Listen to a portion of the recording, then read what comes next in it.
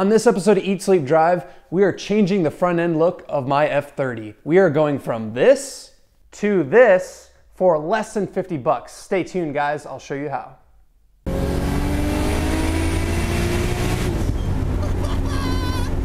What's up guys? Welcome to another episode of Eat Sleep Drive and my 335i still exists. Yes, it hasn't been on my channel in a while, but it's time to give it some love on a budget. I wanted to change the look of the front end a little bit with some subtle mods that I think are pretty tasteful and they just overall make the car look a lot better. Basically what we're gonna be doing today is changing these kidney grills for ones that I bought off Amazon that are all blacked out and I'll show you those in a minute. And also painting these, uh, they're actually referred to as whiskers in the BMW community, no idea why, but changing out these whiskers on both sides, painting them black to basically match the um, the kidney grills as they're called. So I think it's overall going to make the front end of the look of this car a lot sleeker and it's going to be cheap, right? These grills I bought on Amazon for like 45 bucks and they look pretty nice quality. So on my M235i I had the like OEM genuine BMW blacked out grills and those were like $140 and I was like I don't really want to pay 140 bucks for kidney grills just like a piece of plastic. So I found these on Amazon. The, the quality is actually pretty good. Show you guys up close there the finish finish is all uniform. Like to be honest if you put the OEM ones and these in front of each other I'm not sure I'd be able to tell a difference. Overall I think it's gonna really make the car look a little more aggressive. So let's dive in. I'll show you guys how to do it and then see if it's worth your $50 to do on your F30. Start it off by popping your hood and make sure you double tap it because you have to double tap it in order to get it released. The first thing we have to do is remove this weather stripping so we can get access to some fasteners behind here. So this just pulls up. As you can see, it just runs along the edge here. So pull that up. Now you have six T30 Torx fasteners to remove. So just go through and remove these guys. Next, there are two T25 Torx fasteners on opposite ends of this little grill here. So remove those, and then we'll be able to remove this sort of upper grill part from the front bumper and we'll be, be able to access the grills, the kidney grills themselves. Now, I have seen some people mention that you could like potentially just try and like reach in here and, and undo these fasteners and whatnot. But honestly, like it's so short to take off these couple fasteners here. Uh, I think there's a, a, lot less likely chance of breaking off something. Um, so I think this is just more the approved way to do it you just basically pull the bumper away from these tabs that you can see here that hold the upper grill in here. Just kind of pry it off. There we go. And now that we got this grill pulled away basically, I'm gonna show you down in here. You see that tab? I shine the light right in your eye so you can't see it. Try and point the light down there. See that tab right there? Dead center of the screen, then there's one right under my finger right here. Those are what you need to push down.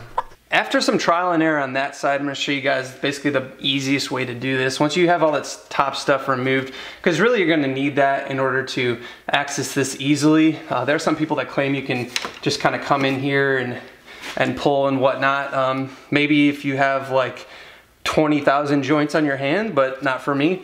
So kidney grill here, what I'm gonna do is start on this side where uh, you have this sort of end piece here.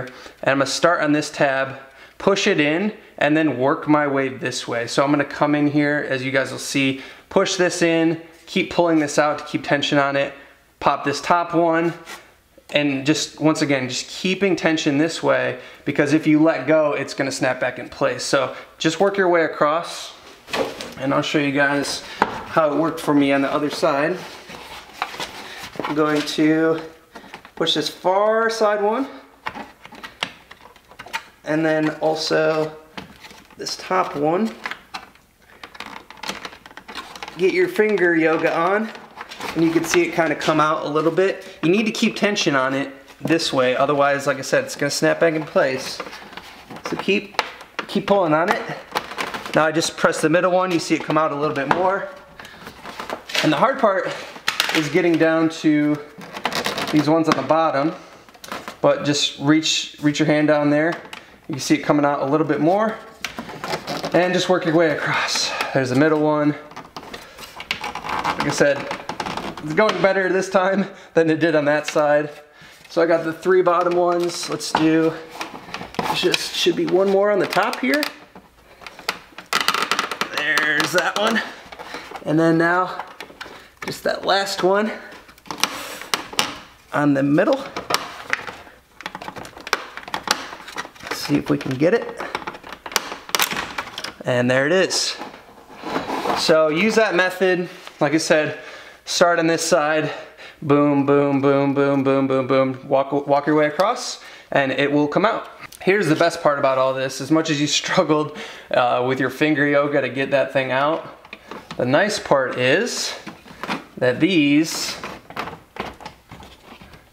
the new ones that you're replacing, just snap in. So you just push it and that is it. It is installed.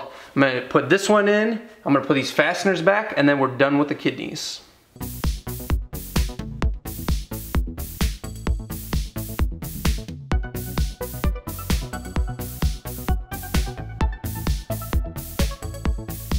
Now we're on to the whisker. Fortunately, these are a little easier to remove than uh, the kidneys.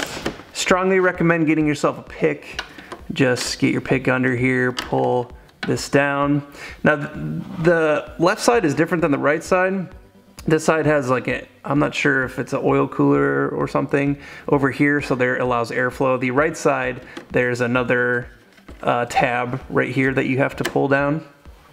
And then this side is, I guess, the hardest part of the whole ordeal. You have to blindly stick your finger back here Jam your finger in there. It's gonna hurt. Kind of pull it out. You hear a, a crack. Not a crack, but uh, the clip unclipping. You see, this is the part that I just had my finger jammed in there and was pushing on in order to get it out. So these are out, let's paint them up and then put them back on. Now that we have our whiskers off, I'm going to be using this Krylon Fusion. I've had good success with this stuff on plastics. Um, it seems to stick really well. You don't have to do a lot of prep. I hit these with acetone just to clean them off, get all the oils off, get all the dirt and debris off of them. So clean them off first and then hit them with some sort of high quality. I'm doing gloss because I think the gloss black will match the trim a little bit better. So clean them off, hit it with uh, some sort of spray, whatever you prefer. Um, this was like $4 at uh, Lowe's, so I'm going with Krylon Fusion. For the paint, I put on about four coats, waiting 10 minutes between each coat. And then after the last coat, I waited an hour before handling the whiskers. Install time now that these are dry. Check out that finish. It's actually really close to the kidneys. So I'm just gonna start on this end, line it up, jam it home, boom, looks good. That's it for the install, cue the beauty shots.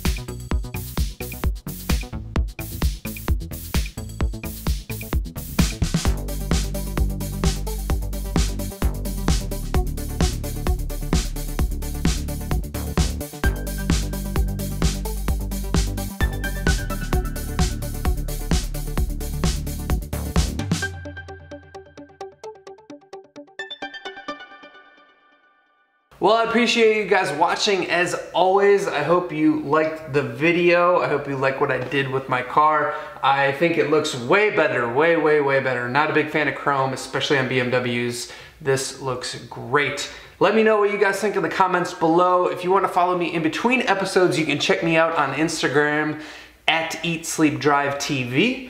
Otherwise, I look forward to seeing you next time. See you guys.